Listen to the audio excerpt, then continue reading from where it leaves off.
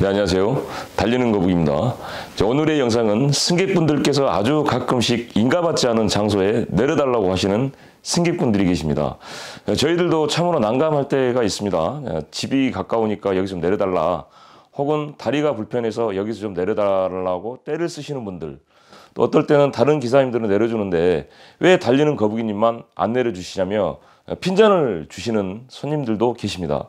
지금 나올 영상은 여러분들의 이해를 돕고자 만든 설정의 영상이니까 보시고 어, 계속 방송 이어가도록 하겠습니다. 에이 기사 양반! 어이 기사 양반! 어, 예, 어르신. 아이 나 여기서 좀 내려주소 아, 약간 법성에서 내리셔야지 지금 출발했는데 여기서 어떻게 내리신답니까? 에이 집이 바로 앞인 게 여기서 좀 내려줘 아, 어르신 안 됩니다. 이따가 저기 저 차가 출발을 해가지고 이따가 다음 터미널에서 내리셔야 돼요. 아따 기사는 발가락에다가 브레이크 한번 밟으면 쓰겠고 아, 내려줘 얼른 아 내려줘라 얼른 아, 어르신 안 되시고요. 다음 터미널에서 내리셔야 한다니까요. 아따 겁나요 기사가 이 까다스럽네 아유 집 바로 앞인 게좀 내려줘 아, 어르신 여기서 내려드리면 안 되고요. 터미널에서 내리셔야 돼요. 아유 나 이거 못 내릴 이유를 한열 가지만 얘기를 해봐봐 영상 잘 보셨습니까? 에, 저희들도 복잡한 터미널 안 들어가고 아무 데서나 내려주면 참 좋겠죠. 하지만 여객 운수법에 의하면 어, 터미널은 국토부에서 주관을 하고 간이 종장은 지자체에서 관리를 하는데 자, 인허가가 나지 않는 곳에 차량을 정차해서 승객들을 어, 승하차를 하게 되면 6개월 이내 자격 정지와 20만 원 이하의 과태료를 물게 됩니다. 좀 더 쉽게 설명을 제가 드리자면 각 지역과 도시에는 해당 택시 회사, 버스 회사들이 굉장히 많이 있죠. 그런데 고속버스나 시외버스들이 아무 곳이나 정차를 해서 어, 손님들을 택시 영업하듯이 아무 곳이나 승하차를 하게 된다면 그 지역 운수회사들이 영업적 타격을 받을 수도 있고 또 제일 중요한 승객들의 안전도 심각한 문제도 될 수 있을 겁니다. 그리고 자 차량이 빈번한 도로에 아무 곳이나 승객들을 내려주게 되면 어떻게 되겠습니까? 사고의 우려도 있, 고 시간적인 개념이 또 없어지기 때문에 대중교통의 버스 시간의 의미가 없어지는 겁니다. 어, 달리는 거북이 저도 가끔씩 버스 편승을 할 때도 있습니다. 그래서 버스 운행을 하는 기사님한테 여기 좀 내려주면 안 되겠습니까? 라고 어, 말씀을 드리고 싶지만 운전직에 있는 사람으로서 말을 못하고 언제나 버스 터미널에서 내려서 어, 택시를 타든 그 지역 시내버스를 타고 저도 이동을 합니다. 자, 예전에 서울에 240번 시내버스가 굉장히 사회적 이슈가 된 사건이 하나 있었습니다. 제가 그거를 좀 설명을 해드릴게요. 어, 과거에 240번 시내버스가 건대 입구역 정장에서 어, 7살 여자 어린이가 하차를 해버렸어요. 다음 정장인 건대역 정장을 어, 또 출발을 했습니다. 그래서 출발 후 약 10초 정도 후에 3차선으로 진입, 진입을 이미 한 상태였습니다.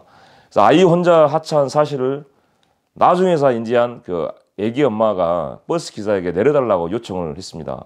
하지만 그 버스 기사님은 승객들의 안전과 교통사고 가능성을 감안해서 그대로 운행을 했었고 다음 정장에서 내린 아이 엄마는 250m 떨어진 이전 정장으로 이동을 해서 겨우 아이를 찾을 수 있었다고 합니다.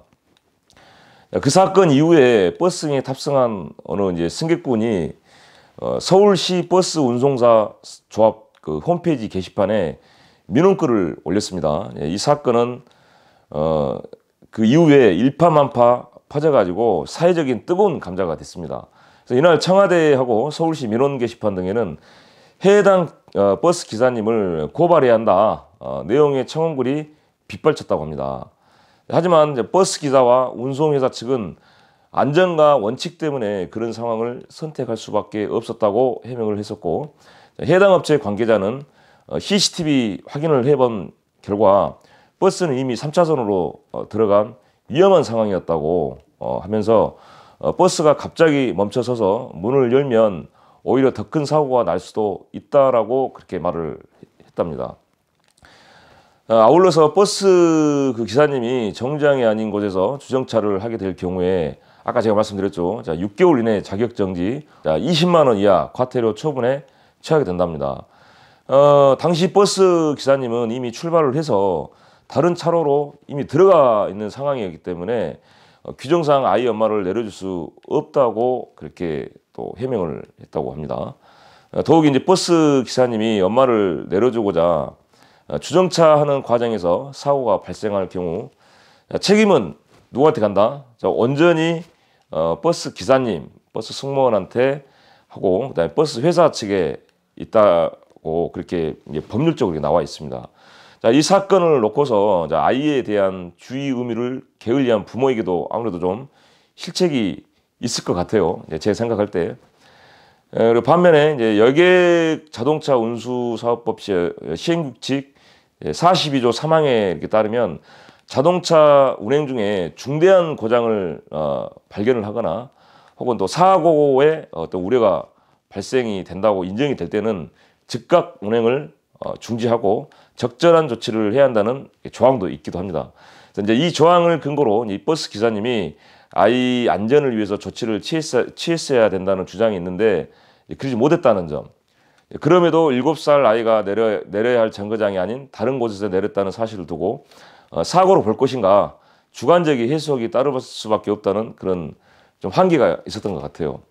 이게 논란이 이렇게 이제 확산이 돼가지고 이제 서울시는 240호 노선을 운영하는 업체로부터 어, CCTV를 제공받아서 어, 분석하는 등 어, 조사에 이제 임했는데 그 이후에 제가 사건을 잘 모르겠습니다. 그래서 우리 이제 버스 덕후님들 또 버스 매니아님들 또 저희 회사 버스 승객분들 음, 자기가 가고자 하는 목적지보다 제도 내려주면 좋죠. 그렇지만은 방금 제가 말씀드렸던 그 사례가 안전사고의 가장 첫 번째 위험이 있기 때문에 그렇게 하지 않는다, 안, 않아서 우리 기사님들이 내려주고 싶지만 그렇게 못한다는 것을 충분히 이해를 좀 해주시고 우리 버스 기사님들도 어, 그런 부분들을 항상 요리 있게 어, 논리적으로 승객분들한테 설명을 해주시면 어, 고맙겠습니다.